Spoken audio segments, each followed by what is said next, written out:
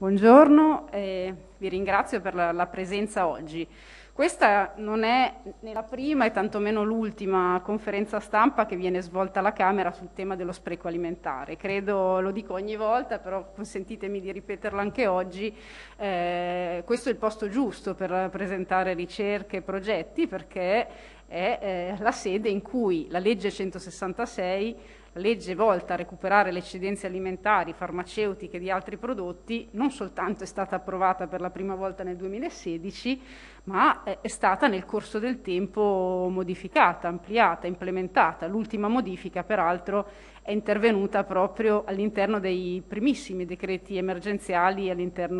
durante la pandemia, quindi con l'estensione delle agevolazioni fiscali e delle disposizioni eh, con le semplificazioni burocratiche che valgono, che valgono, dal 2016 per il cibo e per i farmaci, anche a tutti gli altri prodotti, perché come sappiamo le eccedenze si generano in tutta la filiera produttiva e allo stesso tempo i bisogni delle persone, delle famiglie sono stratificati, sono variegati. La povertà alimentare sicuramente, lo abbiamo visto durante questi mesi difficili, purtroppo lo vediamo tuttora, la povertà alimentare è una realtà nel nostro Paese. Se pensiamo a quello che è successo con la chiusura delle scuole, la chiusura delle scuole ha determinato anche la chiusura delle mense scolastiche, per fare un semplice esempio. E chiusura delle mense scolastiche vuol dire per molti minori del nostro Paese uh, una criticità nell'accesso a una dieta sana e equilibrata.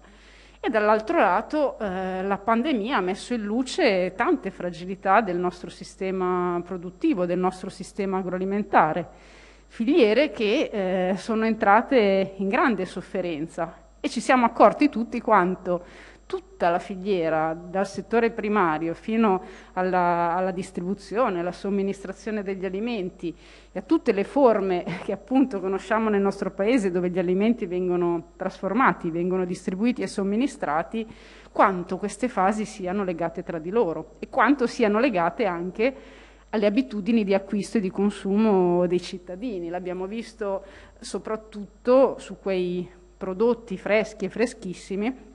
che durante le prime fasi della pandemia, durante il lockdown, hanno subito tante problematiche, l'abbiamo visto anche rispetto ai prodotti ittici. Pensate quanto quel tipo di produzioni sia legato per esempio al settore della ristorazione, al settore dell'oreca. E quindi da questo punto di vista credo sia molto importante oggi parlare di questa ricerca perché come è stato per la legge 166 misurare capire e comprendere quello che avviene all'interno della filiera produttiva è l'elemento più importante per trovare le soluzioni giuste. La legge antispreco nasce proprio dall'osservazione della realtà, dalle eccedenze che si generano nella filiera produttiva per ragioni non sempre eliminabili. Eh, abbiamo visto che la pandemia stessa è stata un fattore esogeno, un fattore esterno che ha influito anche sulla capacità di programmare all'interno delle imprese. La programmazione è un elemento imprescindibile anche per prevenire lo spreco e quando succedono fatti imprevedibili come la pandemia eh, sicuramente poi questi influiscono anche sulle scorte, sui magazzini, sulla capacità di mettere sul mercato alcune tipologie di produzioni. E dall'altro lato, durante la pandemia, eh, anche rispetto all'altra parte, all'altra faccia della medaglia, il terzo settore, eh, beh, sicuramente i primi mesi sono stati importanti e complicati rispetto a quel modello organizzativo, perché la legge 166 funziona nel momento in cui c'è una perfetta sinergia, una perfetta organizzazione, una perfetta sincronia, lasciatemi dire, tra chi genera le eccedenze per diverse ragioni, quindi la filiera produttiva e distributiva, e dall'altro lato il terzo settore che intercetta quelle eccedenze ridando nuovo valore sociale attraverso appunto la solidarietà sociale. I prodotti possono perdere il valore commerciale per, per carenza di domanda, per lievi difetti nel packaging, per, eh, per i, motivi, i motivi più vari, ma possono ritrovare valore, nuovo valore attraverso la, la, donazione. E quindi la legge 166 dal 2016 in poi ha determinato sicuramente attraverso il processo di semplificazione che ha inserito un valore aggiunto perché ha reso più semplice la vita degli operatori, più semplice e chiara, perché dire chi può fare che cosa e con che responsabilità è l'elemento principale per liberare le donazioni. Però credo sia giusto in questo momento storico mh, capire, proprio per ripartire, ci apprestiamo, eh, siamo in un momento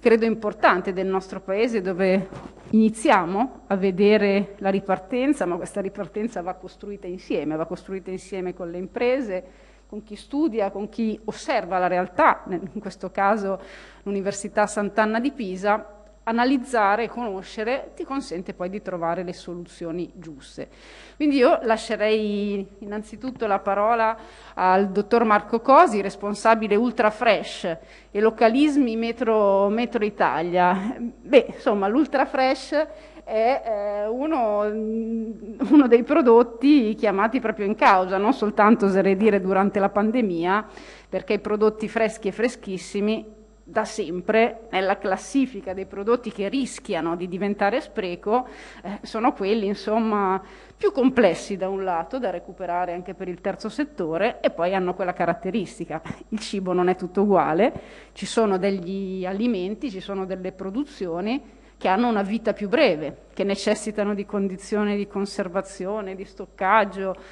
diversi, ad esempio, rispetto ai prodotti che hanno il termine minimo di conservazione, la cosiddetta data da consumarsi preferibilmente entro. E ne approfitto per chi ci sta ascoltando per ribadire ulteriormente questo dettaglio, insomma, non tutti gli alimenti scadono.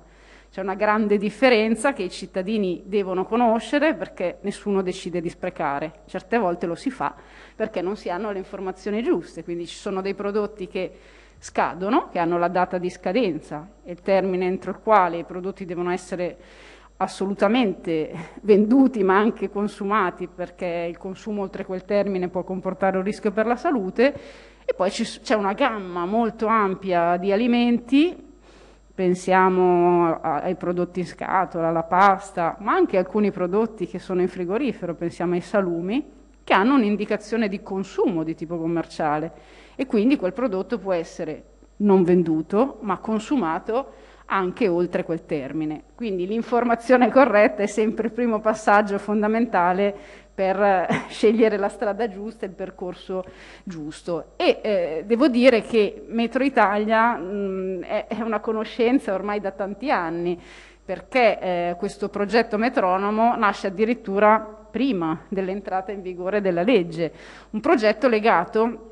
nel suo complesso alla, alla, alla, sostenibilità. La legge 166 si inserisce in un percorso in cui eh, possiamo tranquillamente dire che appunto quella legge è la prima legge di economia circolare nel nostro Paese prova a dare nuova vita a prodotti che altrimenti l'avrebbero persa, ma il tema della sostenibilità e dell'economia circolare ha anche delle valenze, delle implicazioni molto più ampie, per esempio sul fronte della prevenzione,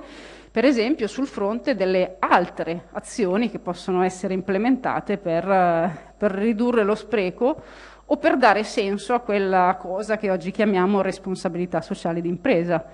che si attua con tante modalità, con tanti comportamenti diversi eh, che l'azienda può assumere rispetto al posizionamento con i propri clienti. E nel caso di Metro Italia, poi lo sentiremo, i clienti non sono direttamente i cittadini, ma sono eh, quei piccoli, eh, i, piccoli i piccoli imprenditori, i piccoli ristoratori, persone che proprio in questi mesi di pandemia hanno davvero sofferto e che, quindi, e che quindi davvero attraverso questa ricerca, ma anche attraverso le indicazioni che da un'azienda più grande come Metro Italia possono arrivare per ottimizzare anche i propri acquisti, le proprie scelte, rispetto per esempio a, alle, alle, meravigliose produzioni del, del nostro Made in Italy, insomma credo che questo sia la chiusura del cerchio, non l'ultima tappa, ma una delle tappe importanti di un percorso virtuoso che, che l'azienda ha assunto in questi anni. Quindi lascio la parola al dottor Marco Cosi. Allora, intanto grazie. Eh, per l'ospitalità, ringrazio l'onorevole Gadda ed è un piacere per me ehm, essere qui di nuovo anche col eh, professor Fabiraldo dell'Università eh, Sant'Anna di Pisa. Um, è importante parlare di eh, sostenibilità perché, e di spreco alimentare perché sono parte integrante della no nostra corporate social responsibility come azienda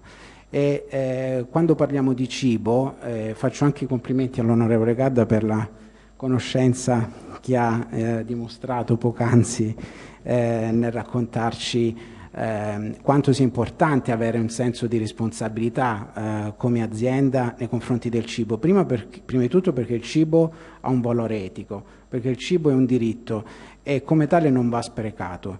noi come Metro Italia sentiamo diciamo una duplice responsabilità, sia individuale eh, come azienda, eh, tant'è vero che da oramai più di dieci anni collaboriamo con il Banco Alimentare che si occupa di eh, ritirare e eh, redistribuire tutte le eccedenze che per forza di cosa un'azienda come la nostra è portata eh, a produrre, sebbene si cerchi di limitarle al massimo e, e a ridistribuirle per, da, da, per, chi ne ha più bisogno. Um, ma anche una responsabilità diciamo un po' più ampia, eh, considerandoci noi come un elemento importante della catena del valore. Noi siamo tra la produzione e la somministrazione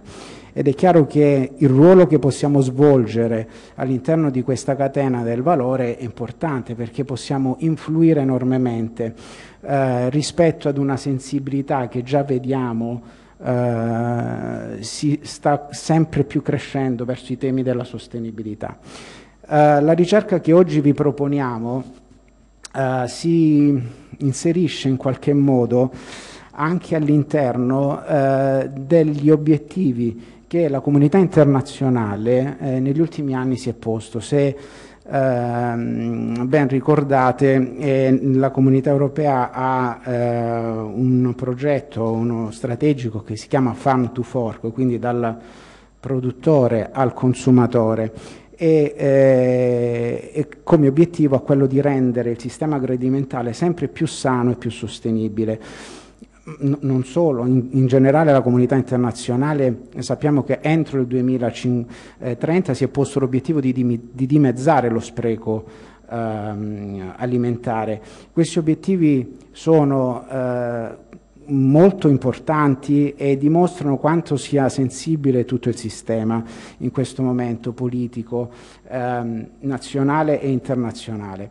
E in questo eh, diciamo, scenario, in questo contesto, si inserisce, possiamo inserire la nostra ricerca che prende il nome di spreco alimentare, esperienza dei produttori del Made in Italy eh, durante la pandemia. E questa è una eh, ricerca che ehm, è stata prodotta da eh, Metro e eh, dall'Università eh, Sant'Anna di Pisa e eh, attraverso l'ha già citato l'onorevole, nostro eh, diciamo, progetto di collaborazione che prende il nome di Metronomo, attivo già dal 2014, che eh, ha l'obiettivo di indagare quali sono stati gli effetti della pandemia all'interno del, eh, delle, delle, aziende produttive eh, italiane e eh, quali siano stati poi eh, le difficoltà che queste aziende hanno incontrato, quali siano state le tipologie di eccedenze con cui hanno avuto a che fare e quali siano state poi ehm, le eh, soluzioni che hanno eh, preso in considerazione. Um, prima di lasciare la parola al professor Fabiraldo che ci introdurrà e ci spiegherà meglio la pandemia, prendo soltanto un momento per eh, raccontarvi eh, del campione di aziende intervistate. Um, il campione di aziende intervistate stiamo parlando di circa uh, poco più di 230 aziende, 233 produttori del uh, Made in Italy, produttori di uh, prodotti locali, sono le eccellenze del nostro territorio, rappresentano il classico tessuto economico italiano fatto di piccola e media impresa. Pensate che il 60% di eh, queste aziende ha un eh, mercato locale e che arriva eh, diciamo anche in altre regioni e il 40% ha semplicemente un mercato di riferimento eh, locale, quindi in, interno alla propria regione, alle proprie province. E, ehm, e per esempio il 30% di queste aziende ha un, meno di 10 dipendenti, quindi capite bene quanto, eh, se vogliamo, eh, fragile sia in qualche modo la struttura di queste, di queste aziende. Noi come, come, come Metro eh, negli anni abbiamo cercato di eh, instaurare con queste, con queste, aziende un rapporto, eh, chiamiamolo di partnership, perché al di là del mero inserimento eh, dei prodotti sul mercato, dello scouting del fornitore, eh, la cosa che ci è importata più di tutto è quella di creare diciamo una visione a 360 gradi con questi, con questi operatori, perché eh, siamo fermamente convinti che eh, lavorare bene con queste aziende sia, significhi valorizzare il territorio in cui, in cui, operano, significa valorizzare la filiera corta, valorizzare il chilometro zero e di conseguenza andare incontro anche a quell'idea di sostenibilità ambientale, di riduzione degli sprechi, delle emissioni eh, nell'ambiente che sono fondamentali e che sono eh, importantissimi in questo momento storico che viviamo. Eh, quello che ci hanno detto le aziende eh, che hanno vissuto questo momento di, di pandemia importante è che è, è, fondamentale instaurare una relazione e eh, una diciamo, cooperazione più frequente con, con tutti gli anelli della, della catena del valore. Noi abbiamo intensificato tantissimo il dialogo in, questi, in questo periodo con loro, anche grazie ad un'organizzazione dedicata e focalizzata a questo tipo di aziende. Noi abbiamo uh, un'organizzazione di quattro buyer uh, localism, eh, più addirittura uno dedicato totalmente al vino, eh, con i quali durante la pandemia abbiamo, non dico avuto un confronto giornaliero, ma quasi, perché eh, quello che abbiamo capito è che ridefinire eh, le fasi della logistica, riprendere eh, un po' il discorso sugli ordini, intensificare la relazione, ridefinire i packaging, eh, ridurre a volte anche le, eh, le porzionature dei prodotti, è stato fondamentale per superare eh, questo momento storico e anche per ridurre naturalmente gli sprechi, perché la, uh, la domanda uh, che avuto, è stata impattata sia da, dalla pandemia, dalle restrizioni poi che ben conoscete che il governo ha dovuto prendere, ha fatto in modo che eh, naturalmente si è dovuto un po' uh, essere flessibile, lavorare molto su, sul tema della, della, flessibilità, se vogliamo della creatività classica italiana nostra. Um, lascio adesso la parola al professore eh, Iraldo e non rubo più tempo. Grazie. Ringrazio perché effettivamente le politiche di filiera, questa grande parte del dibattito anche qui in Parlamento, sono, sono, fondamentali per rendere le nostre filiere produttive del Made in Italy sempre più strutturate, nella consapevolezza che eh, talvolta il nostro paese vive la frammentazione produttiva e quindi avere diciamo, delle politiche di lungo respiro che siano in grado di mettere insieme non soltanto la domanda e l'offerta rispetto ai nuovi bisogni che ci sono rispetto all'impatto ambientale, l'impatto sociale, ma soprattutto alle strategie condivise rispetto al posizionamento sul mercato, è davvero fondamentale. Così come è fondamentale, lo dico guardando il professor Iraldo dell'Università Sant'Anna di Pisa, che più volte eh, diciamo, ho incontrato proprio su questi temi, misurare serve per capire quanto è successo. E da un certo punto di vista anche mh, la straordinarietà della pandemia ci deve far comprendere cosa anche rispetto a questi dati rimarrà, perché sicuramente il nostro Paese dal 2016 in poi aveva intrapreso un percorso molto virtuoso rispetto non soltanto al recupero e alla donazione delle eccedenze, ma in generale rispetto al, al capitolo più ampio della sostenibilità. Noi credo, eh, senza timore di essere smentita, che su questo fronte siamo leader in Europa, sia dal punto di vista normativo, ma anche e soprattutto sul fronte delle buone pratiche. Ma abbiamo visto in questi anni che la legge 166 ha avuto delle grandissime punte di eccellenza in alcuni ambiti della filiera, alcuni sono più complessi, pensiamo alla complessità del settore primario, eh, e, molte, e, molti passi in avanti devono essere fatti dove ad esempio non ci sono economie di scala, perché chiaramente è più semplice recuperare presso la grande distribuzione, è più semplice recuperare presso un grande produttore è più articolato farlo dove ci sono prodotti freschi freschissimi, dove ci sono gli alimenti cotti, pensate ai ristoranti piuttosto che alle mense scolastiche e eh, ov ovviamente eh, nei piccoli esercizi commerciali che però rappresentano gran parte della nostra struttura produttiva del paese. Quindi col professor Iraldo proviamo a capire un po' cosa è successo in questi mesi e, e faccio anche una domanda, cosa secondo lei eh, rispetto anche a questi dati che sembrano un po' negativi non rimarrà.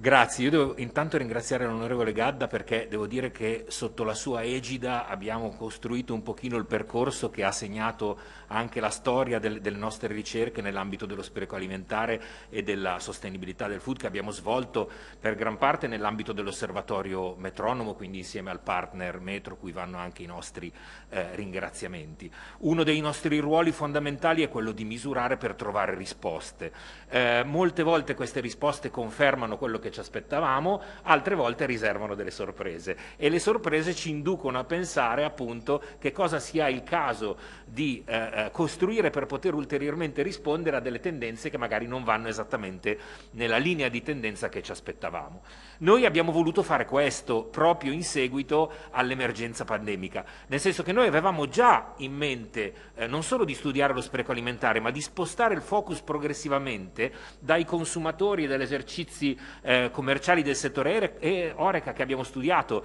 negli anni precedenti alla filiera di produzione, dove non dimentichiamocelo stanno le percentuali principali in termini quantitativi di, di spreco. E quindi volevamo già indagare, investigare quali fossero i driver principali. Poi è accaduto quello che sappiamo e allora a questo punto ci siamo interrogati in modo ancora più diciamo, complicato da, per poter comprendere le tendenze eh, su che cosa la pandemia abbia cambiato, su quali fenomeni abbia accentuato e su quali dinamiche invece, che sappiamo non essere completamente positive, abbia agito esacerbando un pochino delle difficoltà che noi già sapevamo essere proprie di alcune filiere soprattutto.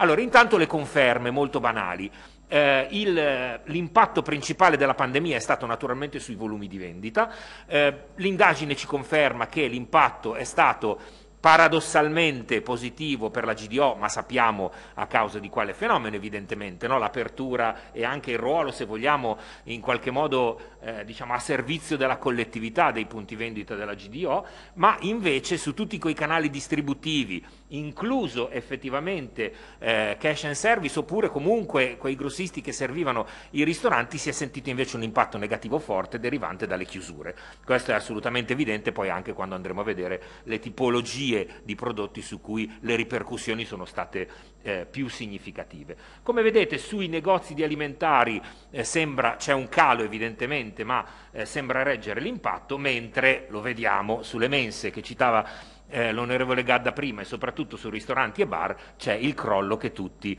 potevamo immaginarsi. La nostra domanda principale, la research question per questo studio è stata come queste dinamiche hanno impattato le scelte dei produttori eh, con tutti gli influssi che derivavano dalla filiera a valle condizionato da quello che stava accadendo. Allora andiamo a vedere eh, intanto come le misure restrittive hanno impattato sulla filiera. Il principale impatto, lo vedete, di gran lunga eh, peggiore eh, rispetto agli altri, in termini già qui anche di gestione della produzione, dei flussi di rifornimento del settore a valle e quindi anche di tutta la dinamica delle scorte, importantissima per il settore alimentare, lo vedete è legato alla discontinuità delle aperture e della chiusura. Le incertezze nella pianificazione della, della produzione sono stati l'elemento eh, sicuramente più devastante dal punto di vista degli impatti che venivano generati e come vedremo anche sulla generazione dello spreco. Meno hanno diciamo, inciso quello che in realtà io stesso come osservatore mi sarei aspettato all'inizio, cioè il limitato accesso alle loro forniture, cioè alle forniture che derivavano dal campo, dagli allevamenti, in taluni casi anche da ulteriori fornitori che stavano anche in altre parti eh, d'Italia, in realtà su questo eh, ha inciso abbastanza, eh, ma non, non, tantissimo, lo vedete dal grafico, così come ha inciso, ma non troppo, la perdita di prodotti stagionali che non sono stati raccolti o lavorati, perché da questo punto di vista si è arrivati, par di capire, alla fase di trasformazione. No? Quello che c'era da raccogliere è stato comunque raccolto ed infatti poi vediamo che gli sprechi stanno un pochino più a valle. Eh, per quanto riguarda i settori più impattati, come ci si poteva aspettare, anche questa è una conferma quasi no, in linea logica eh, di quel che è accaduto, le principali impattate sono le bevande, ma soprattutto a causa delle chiusure dei bar, no? evidentemente dove c'è il più largo consumo di bevande, come vedremo questo non ha un impatto così significativo sullo spreco, cioè sono diminuiti i volumi, ma le bevande hanno un tempo di conservazione molto lungo e quindi non ha impattato molto sullo spreco. Mentre invece, vedete, subito dopo arriva il settore fresh, appunto, soprattutto frutta e verdura, che anche dal punto di vista dello spreco, come vedrete, ha avuto in realtà un impatto molto significativo. Seguono gli altri, vedete comunque, evidentemente i freschi hanno un impatto eh, eh, più rilevante di, di altri.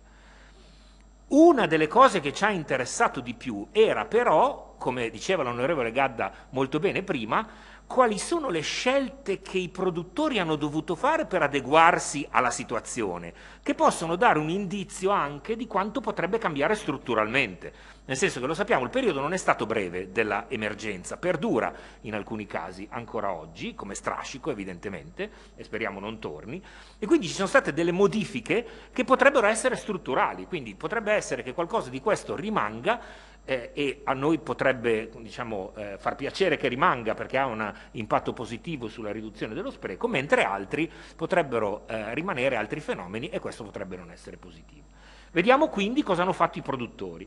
In primo luogo hanno dovuto far fronte a una maggiore richiesta di prodotti confezionati. Okay? Questo è diciamo, naturale nelle fasi di emergenza, dove appunto no, chi compra fa incetta di prodotti eh, a lunga conservazione, tra virgolette. Devo dire, questo sullo spreco non ha un effetto negativo,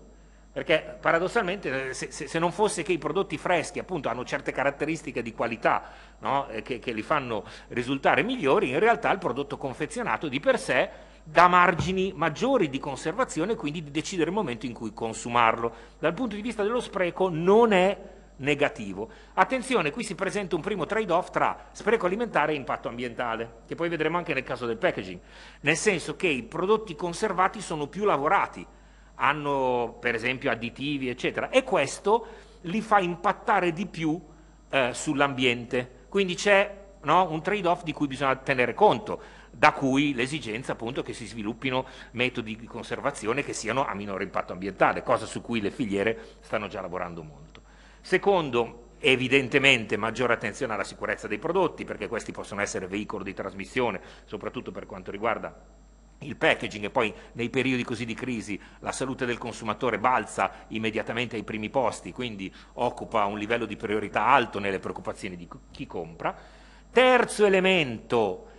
anche qui di duplice lettura, la riduzione dei formati. La riduzione dei formati va da un punto di vista diciamo, dello spreco bene perché consente di conservare anche qui di più. Se io ho una porzione più piccola posso co diciamo, consumare le porzioni ad un lasso di tempo diverso, soprattutto appunto se sono eh, porzionate in modo da essere consumate eh, con un lag, però attenzione, la riduzione dei formati anche qui vuol dire più packaging per unità di prodotto. E quindi anche qui scatta l'esigenza, come diceva prima l'onorevole Gadda, di pensare ad un futuro in cui i packaging, se si riducono le porzioni, devono necessariamente impattare meno sull'ambiente, devono essere capaci di conservare il cibo, anche ridotto in quantità, per poi però impattare comunque in modo contenuto sugli eh, ecosistemi naturali. Quarta, il quarto elemento invece è molto confortante, perché dice una cosa che noi stiamo vedendo tanto anche nei consumatori ed è bello trovarlo anche nelle imprese che producono, perché matcha molto bene con una sensibilità ambientale e per i temi della sostenibilità che nel periodo di, della pandemia è aumentata visibilmente. Quindi il fatto che gli intervistati dicono al quarto posto che è aumentata nella pandemia l'attenzione ai temi della sostenibilità del packaging, che non c'entra assolutamente, è il primo tema che non è conseguenza della pandemia, almeno no, ragionevolmente diretta dalle dinamiche di mercato che si sono causate, dice molto di quanto stia aumentando di importanza il tema della sostenibilità, di cui lo spreco alimentare evidentemente è un pilastro assoluto. Poi seguono altri temi, diciamo, meno, meno eh, rilevanti. Um, che cosa è accaduto quindi come effetto della pandemia come interventi? Il primo intervento di gran lunga superiore è l'ottimizzazione del packaging, però attenzione, ottimizzazione del packaging vuol dire anche ridurre per esempio il peso del packaging per le diverse porzioni, non vuol dire soltanto porzionare il cibo in modo eh, diverso, Secondo, la seconda risposta al 28% dei produttori dice abbiamo creato nuovi formati con minore quantità di prodotto e questo ha la duplice chiave di lettura no, che potrebbe essere preoccupante che dicevamo prima, ma sicuramente sulla spreco alimentare ha un'azione benefica e la terza torna ad essere l'adozione di formati di packaging e di materiali, soprattutto di packaging, sempre più a disposizione oggi, che hanno un impatto minore sull'ambiente o sono più sostenibili. E da questo punto di vista si intravede già una via d'uscita no, per un cambiamento strutturale che potrebbe condizionare le dinamiche del settore, ma che possiamo eh, riuscire a diciamo, reindirizzare positivamente. Dico ancora una cosa sul quarto, perché è molto interessante e non è tanto legato alla pandemia, che è una migliore leggibilità dell'etichetta. Tenete conto che i consumatori e i produttori cominciano a capirlo, vogliono molte informazioni su quello che consumano. Tra queste informazioni sull'etichetta comincia a comparire anche sempre di più in misura crescente una serie di informazioni che riguardano come consumare il prodotto in modo corretto per evitare lo spreco e anche come consumare o conservare il prodotto per limitare i suoi impatti sull'ambiente. Quindi temi legati alla leggibilità delle informazioni sul prodotto che sono assolutamente eh, positive. Vado a chiudere con eh, un tema diciamo, eh, molto sensibile eh, su cui avevamo già indagato in passato per quanto riguarda gli esercizi Oreca e i consumatori. Avevamo chiesto quanto lo spreco alimentare fosse un tema sentito e perché fosse ritenuto importante. Sia i consumatori che i gestori di bar, ristoranti, eccetera, hotel, ci avevano detto la stessa cosa che ci dicono i produttori, quindi c'è una, una, comunità di intenti lungo la filiera che è un fattore assolutamente positivo su cui si potrebbe costruire molte delle azioni che potrebbero integrare e, a, e attuare ancora di più quello che già è a disposizione delle aziende. Tutti lo percepiscono come importante, la gran parte lega lo, lo spreco alimentare ad un tema di sostenibilità ambientale, quindi anche di eh, riduzione dei, dei rifiuti, in questo caso di spreco. Qui arriva la notizia che ci aspettavamo, è una conferma ma non è positiva, e cioè che la pandemia ha chiaramente inciso in modo eh, negativo sullo spreco, nel senso che per un, un, produttore su quattro, un produttore su quattro, cioè 26%, eh, ha visto aumentare la quantità di spreco nelle fasi di trasformazione e di produzione dei prodotti alimentari a causa della pandemia. E questo non è una buona notizia, anche perché il 44% di essi l'ha visto aumentare in modo significativo, cioè fino al 15%, quindi stiamo parlando di qualcosa che sballa i parametri di controllo sulla produzione normali, quindi è un evento sicuramente eh, straordinario che però rappresenta uno shock da questo punto di vista e che va eh, sicuramente assorbito. Eh, tra questi naturalmente eh, ci sono categorie che hanno registrato sprechi in misura più significativa di altri, vediamo la frutta e verdura Eh, per esempio, vedete, l'incremento dello spreco è dato dalla fascia più azzurra in basso, eh? quindi è, è l'ultima, quella che parte dall'asse dalla, dall delle ordinate. Per il frutta e verdura ovviamente 41,49%, perché è un prodotto fresco e le scorte purtroppo non durano. Mentre per le bevande vedete che no, era uno dei settori che aveva avuto impatto in termini di vendite, ma non tanto in termini di, eh, di spreco. Ehm, per quanto riguarda le fasi su cui la pandemia ha causato maggiori ripercussioni in termini di aumento dello spreco, ragionevolmente queste si concentrano nello stoccaggio quindi nelle scorte che vengono stoccate per un periodo di tempo eccessivo rispetto alla eh, durata eh, del prodotto e quindi alle scadenze a causa dello shortage degli ordini che provenivano dai settori a valle, soprattutto per chi serviva il settore oreca, e poi i prodotti invenduti in generale, questo ha riguardato chiaramente tutti i settori che hanno subito impatti significativi eh, dalla, dalla pandemia. Ultimissima cosa, quali sono le misure antispreco che sono state messe in atto da parte dei produttori prima o durante la pandemia e quindi che possono rappresentare un trampolino per il futuro per poter lavorare eh, ad aumentare questo tipo di indicazioni. Anche qui indicazioni non troppo positive che lasciano campo aperto a tantissime possibili iniziative. Quella che mi ha, devo dire, eh, sorpreso di più è il fatto, per esempio, che i produttori prima della pandemia e durante la pandemia non abbiano ancora deciso di fare ricorso massivo, come in realtà meriterebbe si facesse, ai cosiddetti mercati secondari, cioè per piazzare il prodotto magari vicino eh, a scadenza o comunque non richiesto dal mercato no? attraverso i sistemi delle app o altri sistemi di tracciabilità. Questo è un vero peccato. Eh, avrei scommesso che la pandemia avrebbe generato questo tipo di attenzione, forse siamo di fronte ancora a una filiera non pronta per questo tipo di, di sollecitazioni, effettivamente dovremmo lavorarci. Poi ci sono delle altre misure che invece vanno nella direzione che dicevamo, da un lato volumi ridotti e quindi porzioni anche più piccole, dall'altro soluzioni per accrescere la durabilità del prodotto. A me questo interessa non tanto perché evidentemente evidentemente no, si auspichi un passaggio ai prodotti conservati, perché nessuno lo auspica, soprattutto nella patria appunto dell'alimentazione mediterranea eh, con, con, con elevata qualità, soprattutto dei prodotti freschi, ma soluzioni eh, pensate a per esempio soluzioni con tecnologie innovative che consentano di conservare il fresco di più e quindi un margine di flessibilità per poterlo offrire sul mercato ancora con le sue caratteristiche qualitative eh, inalterate. Chiudo davvero perché questa è l'ultima slide. Quali azioni sono ritenute più utili dai produttori per migliorare ancora di più la tendenza a ridurre lo spreco e le loro capacità ad agire? Quasi il 50% dice sistemi per ottimizzare lo stoccaggio dei prodotti, eh, qui veramente la lean production, no? cioè la capacità di rispondere agli ordinativi con tempestività e quindi con flessibilità riuscire a gestirne i quantitativi in relazione a shock come quello pandemico potrebbe essere assolutamente premiante, ancora una volta vedo l'utilizzo delle nuove tecnologie per fare queste cose,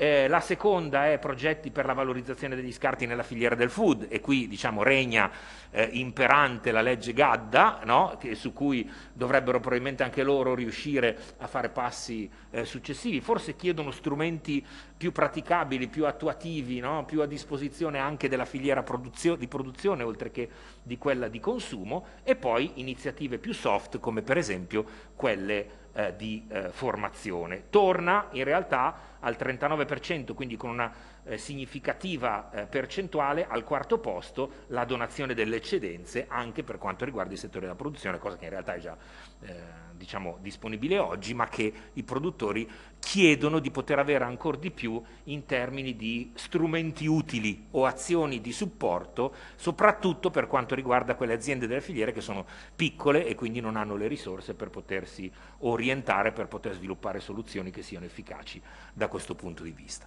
Questo è un po' il quadro, rimaniamo a disposizione ovviamente per domande specifiche. Ecco, prima di aprire le domande vi vorrei eh, ringraziare per questa vostra ricerca e, e, anche per questa esposizione, perché dalla politica diverse indicazioni, anche alcune osservazioni che il professor Iraldo ha fatto ci dicono se stiamo andando o no nella direzione giusta rispetto ad alcune scelte. Il, il tema legato alla digitalizzazione, non a caso, lo, lo, dico osservando entrambi, è la prima missione del Piano Nazionale di Ripresa e Resilienza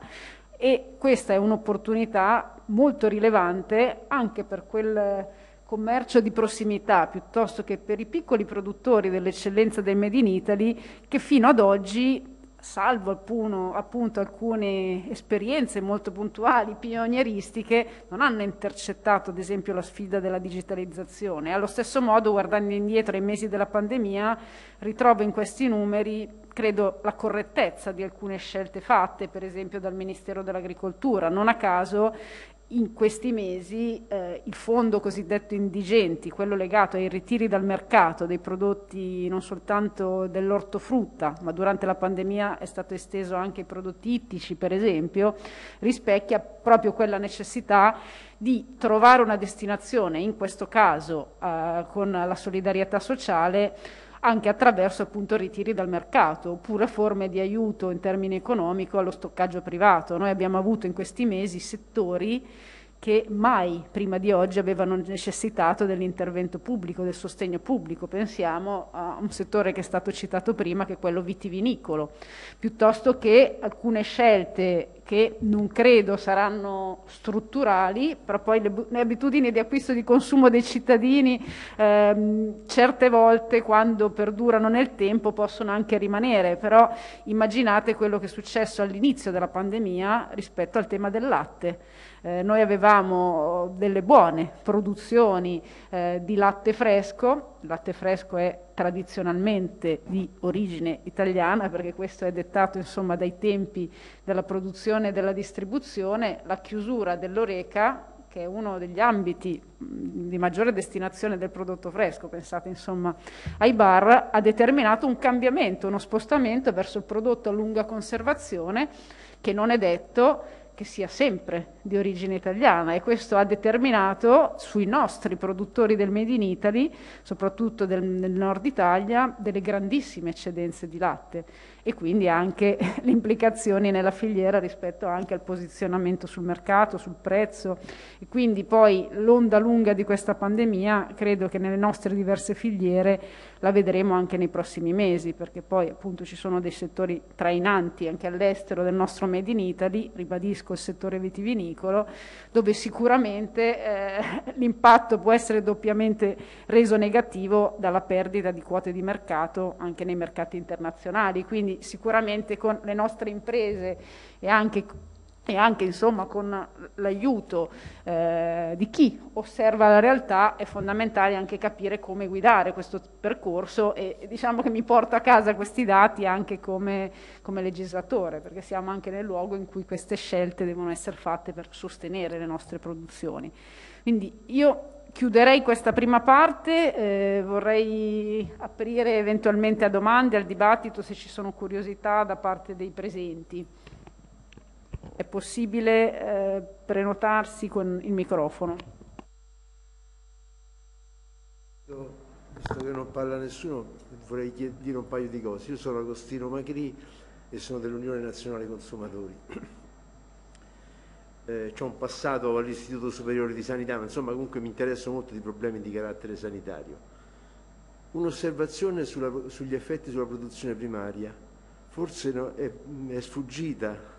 quindi prima parlava di latte, il fatto che la chiusura dei fast food ha creato dei grossi problemi nella produzione, nelle, nelle, nella produzione delle vacche da latte, perché sapete che, che le vacche vecchie diventano hamburger.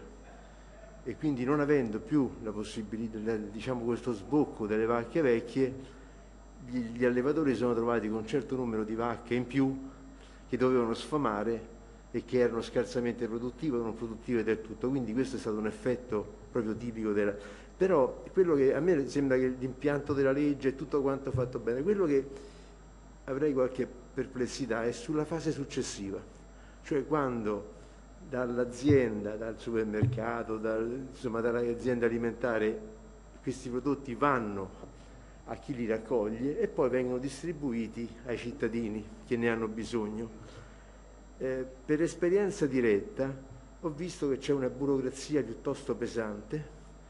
e poi arrivano a chi ha, io mi sono trovato a dover distribuire questi prodotti che ho preso appunto dal, da questi enti che raccoglievano questi, questi prodotti, mi sono ritrovato con una montagna di cioccolato, e, cioccolato oppure tipo quelle confezioni natalizie dei cioccolati, de, de, de, cioè, una quantità enorme che non, non sapevo a chi darle, perché non c'è, insomma, non, non, non, possiamo dare soltanto cioccolato al, a, alle persone che hanno bisogno. Quindi ci siamo attrezzati, abbiamo integrato con, abbiamo dato comunque, però ecco c'è questo, e poi una burocrazia che mi sembra anche abbastanza pesante nel trasferimento delle, dei, dei, prodotti dal eh, diciamo, banco alimentare, tanto per citarne uno, ai, alle, a chi poi realmente distribuisce i prodotti, insomma c'è una filiera molto farraginosa successivamente. E questa io penso, non so se sia possibile farlo per via, eh, per via però è veramente farraginosa, vi, vi assicuro che, eh, che ci, chi ci si impegna trova veramente delle difficoltà e ovviamente poi l'ultima cosa è cercare di spiegare ai cittadini le date di scadenza. Io mi sono visto rifiutare dei prodotti, dei prodotti scatola perché da, eh, da, da, da consumare preferibilmente entro, anche se questo entro era tra un mese, la gente non li voleva. Quindi ecco, su questo effettivamente bisogna insistere su questa opera di persuasione ai cittadini, che ovviamente c'è dei riflessi positivi anche per i supermercati, per, eh, per le grandi distribuzioni. Scusate se sono stato un po' lungo, però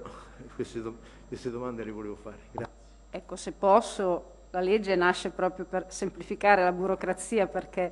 onestamente l'unico documento che serve per garantire la tracciabilità, perché la responsabilità credo sia necessario garantirla nel momento in cui va garantita sia a chi dona ma anche a chi riceve, perché al centro della legge eh, c'è la dignità della persona, quindi la tracciabilità rispetto a chi dona le eccedenze, capire come vengono poi gestite all'interno anche della filiera del dono è fondamentale, ma la tracciabilità secondo la legge 166, poi magari se, la sua domanda è utile perché forse eh, conviene sempre spiegare cosa contiene un, un provvedimento legislativo che ha risolto il tema che lei diceva della burocrazia, perché serve soltanto il documento di trasporto. Quindi da quel punto di vista credo che è un documento eh, semplice nell'impostazione e nella gestione che garantisce quel tipo di tracciabilità, ma anche garantisce di agganciare su quel documento le agevolazioni fiscali sulle imposte dirette e indirette che la legge 166 porta. Poi credo che in generale, mi permetto di darlo come suggerimento, la legge 166 chiede due cose, di specializzarsi, ognuno faccia il suo, e di fare progetti di rete. Ecco, io credo che sia fondamentale, ad esempio nel caso di un'associazione di consumatori, lavorare molto sul tema dell'educazione, sul tema della formazione. La lettura delle etichette è fondamentale oggi perché l'etichetta indica l'origine del prodotto, le modalità di conservazione, le date di scadenza, la storia del prodotto stesso oltre alle diverse indicazioni che servono anche rispetto alla al, al, tema della salubrità, agli allergeni, insomma ci sono una serie di indicazioni in etichetta, quindi credo che un, un'associazione come la vostra possa essere fondamentale anche per ribadire l'importanza di questi concetti. Poi però il recupero, la donazione delle eccedenze credo sia importante farla fare a chi ha la struttura organizzativa per farla non, non, riguarda soltanto i grandi soggetti come il Banco Alimentare. Credo che nel nostro Paese abbiamo un'esperienza di migliaia di enti che nelle loro diverse forme si sono specializzati nel recuperare prodotti a lunga conservazione, il cibo cotto, il prodotto dei mercati generali. Il cibo non è tutto uguale, non ha lo stesso grado di recuperabilità e presuppone modelli organizzativi anche nel mondo del terzo settore molto specializzati. Quindi io credo che mm, la soluzione migliore sia quella di talvolta essere da facilitatori, ma avere la struttura organizzativa per fare le cose. Eh, io quello che ho imparato in questi anni è che inventarsi, spinti dalla buona volontà, non sempre aiuta. Quindi da questo punto di vista credo sia fondamentale invece essere talvolta i promotori di progetti di rete dove abbiamo dei soggetti che hanno magazzini, beni mobili strumentali, quindi frigoriferi, mezzi adeguati, perché se si vuole recuperare alcune tipologie di prodotti bisogna avere quel tipo di responsabilità. E questo non perché il legislatore è come dire, particolarmente, particolarmente insomma, aggressivo nel, nell'imporre di fare qualcosa, ma proprio per la finalità del recupero, che è quella appunto di rispondere a un bisogno sociale. E quindi mh, in realtà insomma, la legge 166 come unico documento chiede il documento di trasporto, quindi non so che altri documenti le siano capitati, potrebbe essere che grandi enti del terzo settore possano chiedere al soggetto a cui eh, donano in, in, una filiera di responsabilità le eccedenze da distribuire agli indicenti un, un rapporto di collaborazione particolare, ma quello, eh, quello è legato alle relazioni che, che, ci sono tra soggetti diversi nella filiera, insomma un, un, patto che può esserci tra soggetti diversi che devono essere allineati tutti sulle stesse competenze, sullo stesso modello organizzativo, però diciamo che vorrei che fosse lasciato agli atti che non ci sono adempimenti ulteriori, proprio perché li ha tolti la legge 166, prima c'era da fare la dichiarazione preventiva cinque giorni prima. La legge prevede che non debba essere fatto altro per donazioni, singole cessioni, eh, fino a 15.000 euro. Insomma, la gran parte delle donazioni, salvo appunto i casi dei grandi donatori, delle grandi imprese di produzione, piuttosto che delle grandi imprese della distribuzione organizzata, raramente come dire, fanno singole cessioni quotidiane superiori ai 15.000 euro, insomma, quindi tutto il resto del mondo, che direi che il 99%, deve fare soltanto il documento di trasporto o documenti equipollenti, insomma, quindi eh, è sempre utile ricordarlo. Se posso aggiungere invece sul tema del consumatore e della sua sensibilizzazione rispetto al tema delle scadenze, eh, volevo sottolineare, allora secondo me eh, invece questa argomentazione qui è, è assolutamente centrata, è un'esigenza eh, molto sentita da tutti gli operatori della filiera, perché è evidente che c'è un pregiudizio da parte del consumatore quando no, vede il claim da consumarsi preferibilmente entro. Segnalo che la Commissione europea ne ha fatto una priorità di intervento, no? anche in termini di cambiamento del modo di esprimere, perché è chiaro che la preferenza è legata alla qualità, del, cioè al mantenimento di quelle caratteristiche che lasciano integro le qualità diciamo, gustative, eccetera, no? organolettiche del prodotto, ma può essere consumato anche dopo. Secondo, segnalo che un mesetto fa abbiamo presentato la carta del consumo circolare che hanno firmato tutte le associazioni di consumatori, anche voi credo, sono quasi sicuro, vero? Ehm, in cui una, ci sono una serie di principi, l'ultimo di questi principi è proprio sullo spreco alimentare e lì c'è un impegno forte di tutte le associazioni di consumatori insieme anche al, al sistema diciamo, educativo e anche alle imprese che vorranno aderire a questa carta, tra l'altro la, la segnalerò poi anche a Metro, eh, di informare correttamente il consumatore sensibilizzarlo in modo da superare il pregiudizio no? e garantire appunto che quel fenomeno di vicinanza alla scadenza sui prodotti, soprattutto alcune categorie di prodotto, venga definitivamente dimenticato perché altrimenti è vero, è molto difficile riuscire no? a prolungare la vita utile dei prodotti. Sì, è un pregiudizio che va superato anche perché non deve mai passare il concetto tale per cui il prodotto recuperato e donato, che per esempio ha superato preferibilmente entro, sia destinato a chi quel prodotto non lo può acquistare. La legge 166, che include anche degli articoli che riguardano appunto la data di scadenza e il TMC, riporta questo dibattito sul binario della normalità, tutti possono consumare a casa propria i prodotti che hanno superato il preferibilmente entro. Quindi questo concetto non deve invece portare a, a far immaginare qualcuno che eh, chi riceve i prodotti in donazione riceva gli scarti della società. La legge 166 non parla di spreco alimentare, parla di recupero delle eccedenze che per diverse ragioni, lo ripeto, perdono il valore commerciale Pensate ai, ai, prodotti che non possono essere vendibili singolarmente, lo scatolame, no? Cadono le tre confezioni, se ne danneggia una, le altre due no. Le, quelle due confezioni sono perfette, perfettamente consumabili, non hanno alcun vizio, nemmeno difetti nell'imballaggio secondario, eppure perdono valore commerciale perché non possono essere vendute singolarmente. Quindi la legge inserisce un principio, credo, di buon senso, ma che doveva essere scritto in modo preciso, tale per cui un conto è la vendita, un conto è ridare valore attraverso la solidarietà, ma se questo poi il cittadino che riceve quei beni non lo comprende, non gli viene spiegato, pensa di ricevere lo scarto della società. Non è così. La legge 166 è una legge dove, eh, poi l'abbiamo anche visto in questi mesi di pandemia, tutti noi possiamo essere fragili in un momento della nostra vita, soli,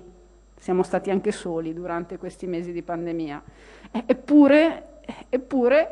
eh, questa legge dice mettiamo insieme due bisogni, quello delle imprese che hanno dei beni in eccedenza che non possono più vendere o che non vogliono più vendere perché li vogliono donare. Quante donazioni ci sono state in questi mesi perché si voleva fare la propria parte durante la pandemia? Io credo da questa sala che sia giusto dire che le istituzioni, anche attraverso agevolazioni fiscali, anche queste scelte le debbano sempre premiare, perché la società va avanti così, insomma. Scusate, una breve replica. Io ehm, tutta la parte che, di cui avete parlato dei consumatori l'ho fatta e l'ho fatta in un modo molto, molto completo. C'è un progetto di ricerca che ha portato avanti l'Unione Nazionale dei Consumatori insieme a Federe Alimentari e alla grande distribuzione. Su questo l'abbiamo fatto e ho dato un contributo. Io mi riferivo a un'altra cosa che io faccio comunque, diciamo, di azione di volontariato, perché i Lions in Italia hanno deciso di eh, diciamo, collaborare con, il con perlomeno i, Lions del Lazio, di collaborare con il Banco Alimentare per distribuire. E qui e, e a questo mi riferivo, alle difficoltà che ci sono, ci, ci abbiamo messo la buona volontà, ci abbiamo messo tutto, non dipende dalla legge questo, questo dipende proprio dalla, diciamo, dall'indole italiana, non lo so che cos'è, che comunque abbiamo queste difficoltà nel riuscire a distribuire questi, queste eccedenze, ma non, come ripeto,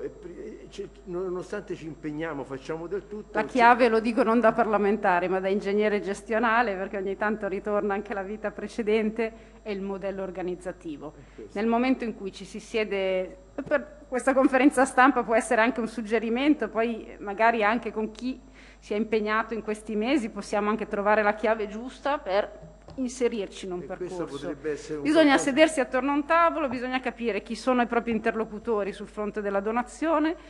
come e con che forma organizzativa si può donare, perché è vero che certe volte capita di ricevere in donazione un, pallet, un, un tir pieno di pallet di cioccolato e uno cosa deve fare? Rinunciare a quella donazione perché non si ha il modello organizzativo? Allora il modello organizzativo può essere, come quello che hanno trovato alcuni enti del terzo settore, usare le piattaforme informatiche, la blockchain, oppure avere un tavolo permanente tra soggetti del terzo settore dove questi beni li si distribuisce. Io ti do un po' di cioccolato, tu mi dai le albicocche e rispondiamo insieme a quel bisogno sociale. Il tema non è più la legge, non ci sono più scuse da quel punto di vista, il tema è crescere insieme su un modello organizzativo che usa la legge, che usa le possibilità che la legge ha dato per fare le cose. La volontà c'è, perché vi assicuro che nel nostro Paese la volontà c'è, bisogna rimuovere soltanto alcuni ostacoli, soprattutto nei soggetti più piccoli, che sono legati alla paura, a non saper cosa si può fare, alla paura banalmente di essere sanzionati. Prima succedeva, quando non si sapeva che cosa si poteva effettivamente fare. Oggi questo è risolto e quindi forse insieme dobbiamo fare un percorso di educazione e di informazione sulle opportunità della legge, quindi eh, assolutamente positiva questa voglia di fare, di mettersi in gioco, Cerchiamo di capire questa voglia, come canalizzarla, perché l'ultimo aspetto che la legge ha inserito è questo. L'eccedenza non si genera quando ha voglia lei, si genera ogni giorno in modo continuativo, non prevedibile e quindi deve diventare un fatto normale come nelle politiche aziendali. Cioè, ci sono i prodotti che assumono il percorso di andare a rifiuto, altri che vengono venduti. La donazione o il recupero o le misure di prevenzione devono entrare in modo normale nelle politiche aziendali. Per un'azienda come Metro è più semplice, per un piccolo ristoratore o per chi vende i propri prodotti nel mercato ortofrutticolo di quartiere è più complesso. Quindi è per questo che forse servono dei progetti di rete dove si portano tutti su quel percorso, però noi l'abbiamo iniziato. Sì, se posso, la, la parola eh, magica è modello organizzativo secondo me, cioè è, è, fondamentale oggi, poi la digitalizzazione ci aiuterà, sicuramente è un abilitatore importante, darà velocità, però è fondamentale come nelle aziende ci sono modelli organizzativi per cercare di capire come donare, in che modo, con quali strumenti, eh, farlo anche a valle, perché solo così, eh, io sono d'accordo che la, la, legge è già ehm, come dire, una, uh, un fluidificatore importante, il limite dei 15.000 eh, euro e già eh, può facilitare molto. Io leggendo un po' eh, sono rimasto sorpreso anche di come riesce ad inquadrare e, e a mettere insieme eh, tanti, tanti bisogni. È chiaro che poi bisogna fare e, e per fare bisogna mettere un po' di eh, scientificità anche nell'organizzazione. E questo le, le, le aziende lo, lo, insegnano, io vivendo in un'azienda che ogni giorno cerca di eh, mettere in fila tutto e, e far rientrare all'interno di un modello organizzativo, di un processo che sia sostenibile sempre, beh, questo è il lavoro poi che va costruito e, ed, è, ed è la strada insomma. Forse il professor Iraddo voleva, vedevo prima. Direi il tempo è strettissimo, forse solo una battuta. Chi è, il, chi è beneficiario di una donazione va trattato come se fosse un consumatore, cioè è un mercato anche quello che ha la sua domanda, le sue periodicità e deve, essere, deve trovare risposte in un mix di prodotti, eccetera. Quindi non è, non è semplicemente perché un'eccedenza può essere donata che trova facilmente la sua, la sua collocazione, va pianificato anche quello. Grazie.